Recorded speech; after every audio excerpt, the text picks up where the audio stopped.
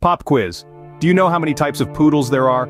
If you said three, you're spot on. Standard, miniature, and toy, each with distinct characteristics.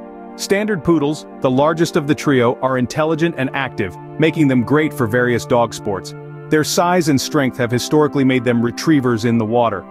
Miniature poodles pack a lot of personality into a small package.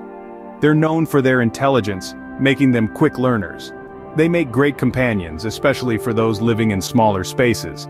Last but not least, the tiny toy poodles. Despite their size, they're known for their bravery. They're lively, perky, and love to be around their families, so next time you see a poodle, don't forget, they're more than just a pretty face. They're smart, active, and full of character. Please subscribe, comment, like, and share.